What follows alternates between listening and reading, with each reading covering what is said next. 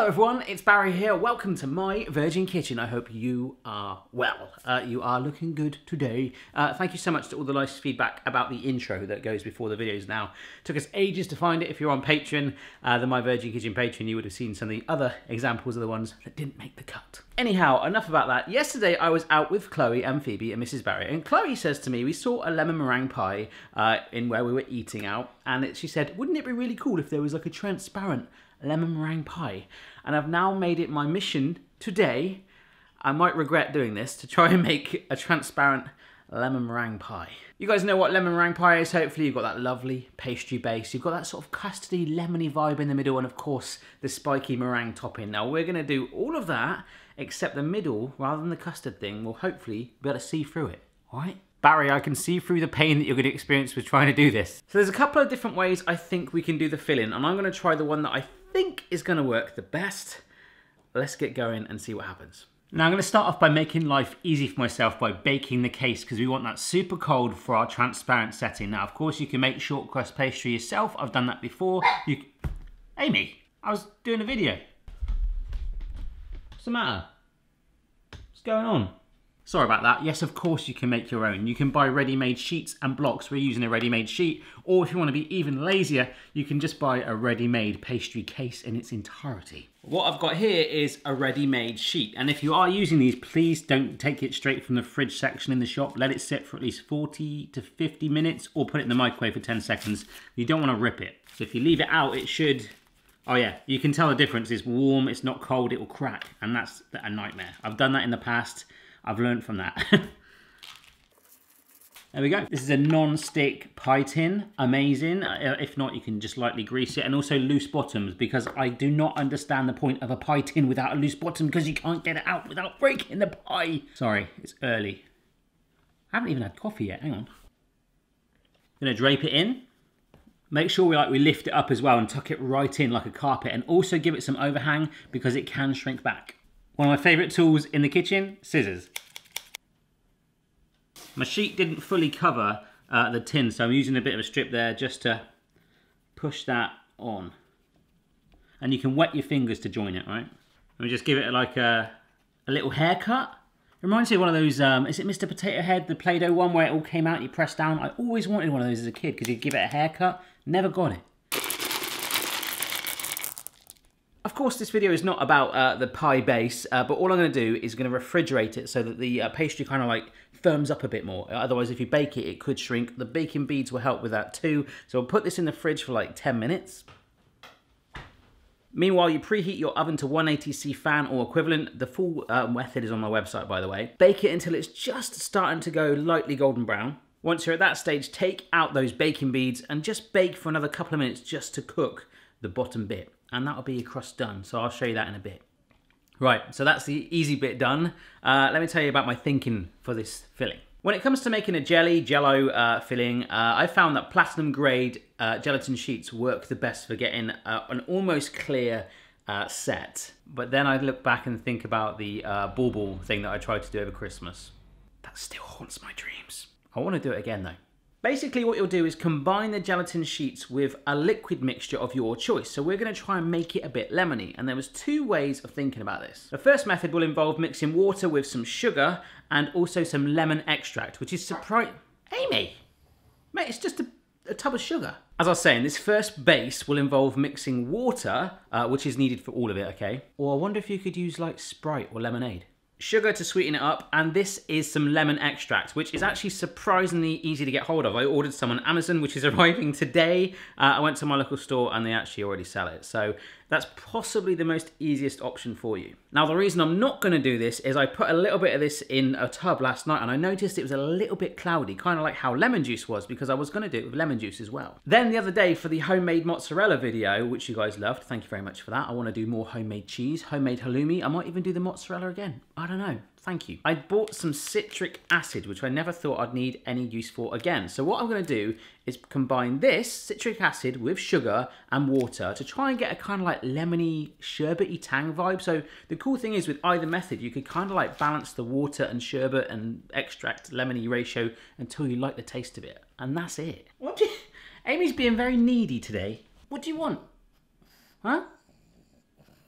Maybe she's a fan of lemon meringue. So wash my hands. So kind of like a deck of cards, there are gelatin sheets, okay? I, I like the actual pattern on it. Reminds me of my mum's old windows at her house. Uh, so all you want to do, it doesn't matter about the amount of water in this bowl. It just needs to be cold and there needs to be enough of it. So you just separate your cards with your sheets to deal out your cards like you're in Las Vegas and let them soak and they'll kind of go like, you know, these are like snappy and cardy now. They'll go saggy. They'll loosen up basically. So we can just leave this, make sure they're separated apart, uh, just leave it for like five minutes so we can start to make the base mixture, which is where your water amount needs to kind of be specific or roughly what you think will fill your pie dish. This is roughly 800 mils of water, so I think that's approximately what will fit in my pie dish. I'm gonna add in 100 grams of sugar. I've got a big old lump in there. uh, so in that goes. As you can see, that's gone cloudy, but if I mix it, I'm hoping that, oh yeah, look, see? Um, it has basically gone back to being transparent again. It's not cloudy. Uh, whereas if you put lemon juice and extract in, as I say, it will be slightly cloudy. Trust me, it'll be fine. But I really want to get this transparency thing. Now, citric acid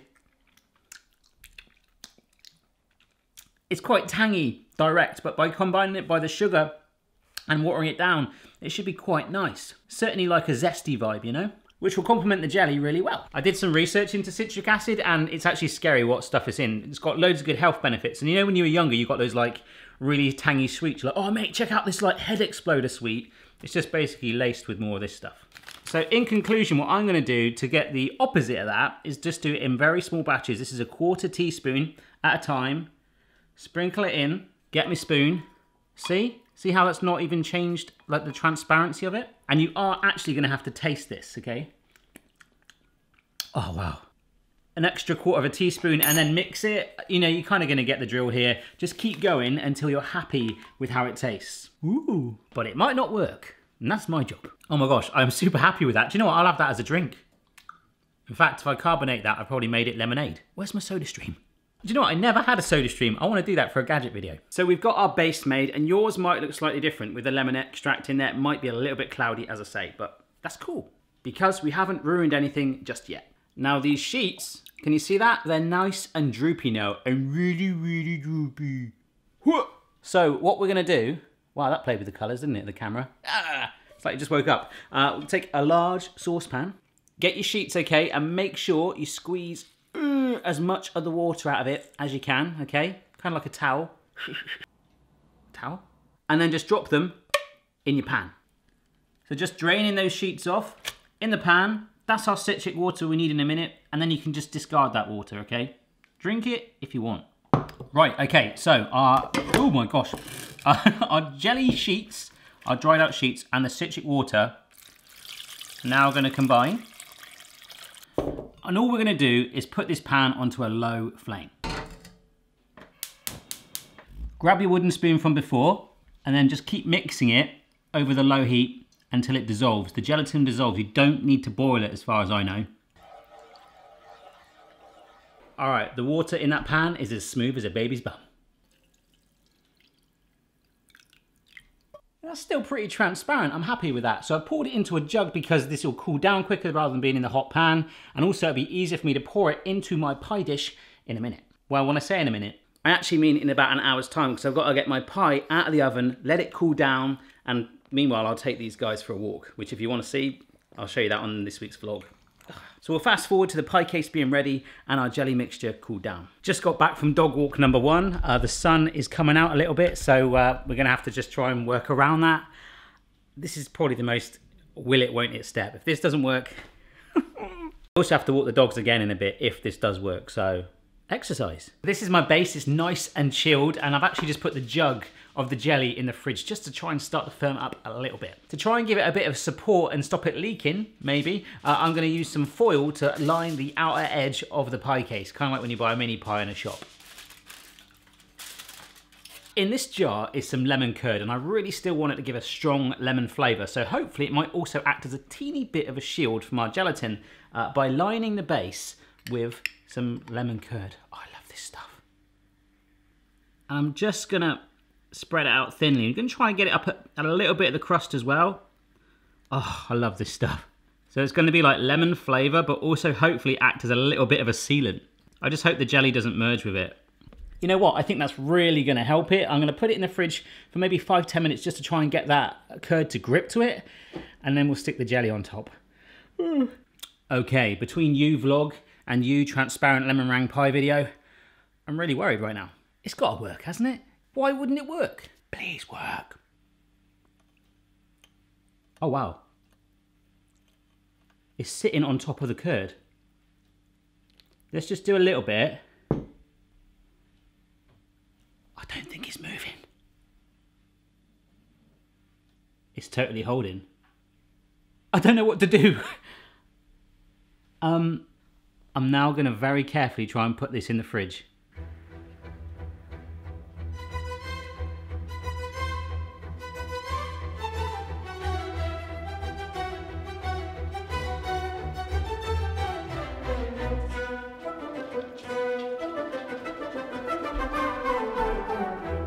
That was the longest walk of my life. All right, now we just wait. Uh, Boston and Amy are keeping an eye on it for me. It was freezing out there. Um, me and the dogs got very cold indeed. But speaking of cold, I think it's worked. Um, I'm not going to show you just yet. We're going to move on to our meringue topping. You hear that drilling? You might not. Hopefully you don't. But you guys wanted me to keep it real. That homely feel. There's some. Uh, I think it's the waterboard digging up the uh, the roads outside with drills. Amazing. They didn't even let me know. Uh, this is how I like to make meringues. This is four room temperature medium egg whites. And this is half a teaspoon of cream of tartar. It's a, it's a raising agent. It's not essential, but I find it helps to keep the peaks stiff.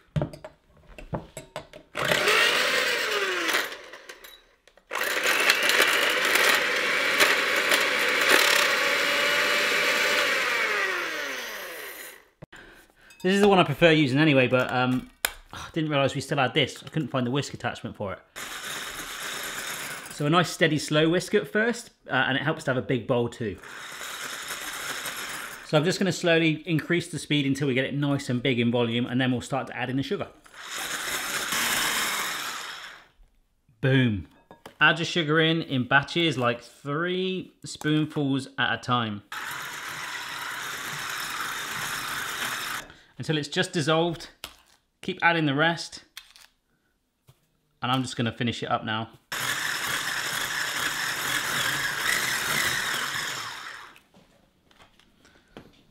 See that? That's what we want, baby. You could pipe this if you want, but I'm just going to make mine rough. Rough.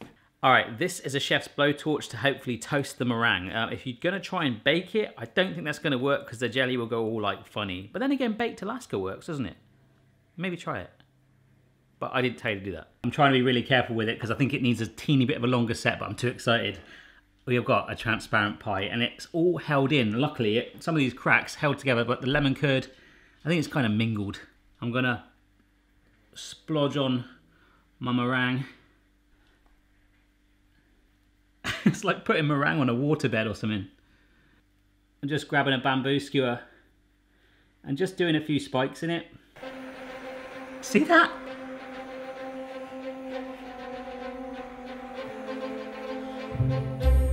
My god, that looks amazing.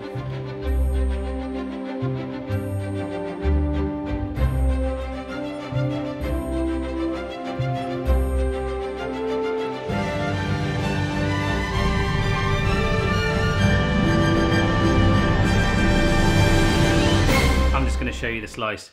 Oh yeah. Check that out. We have done it.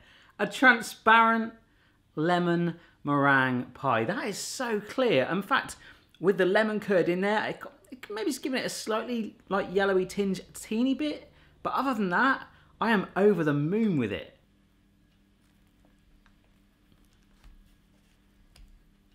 Oh, I'm not gonna lie, it's had a cheeky piece. Look. Look how clear that is. Oh my god. There's the freshness, sort of sherbety tang of the jelly. You've got that lemon curd just keeping it in line, the meringue on top, and that crust all chilled. It's gorgeous. We did well, my friend. It was a long battle, but I've got loads there and still half a pie in the corner. I'm just relieved, I think.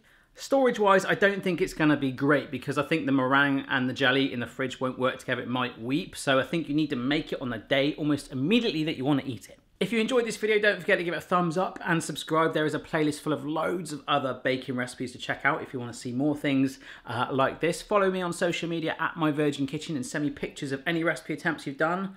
Love you lots. We did it. I am, I'm like, woo, proud. I'm a proud dad.